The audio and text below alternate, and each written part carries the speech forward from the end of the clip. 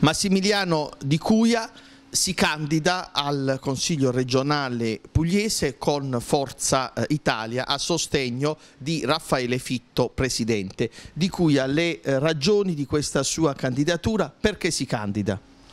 Mi candido perché credo che in questo momento di particolare difficoltà per la Puglia, per, in particolare per la nostra città,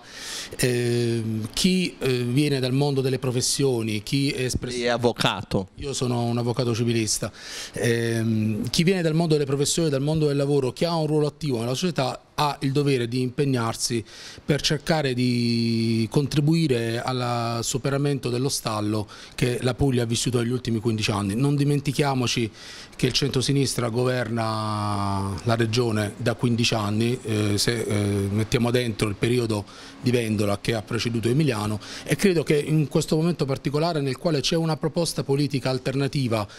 proposta a chi ha governato la regione negli ultimi 15 anni, credo sia opportuno e doveroso penso che chi è in grado di esprimere eh, idee e consensi scenda in campo per contribuire a un rinnovamento della classe dirigente.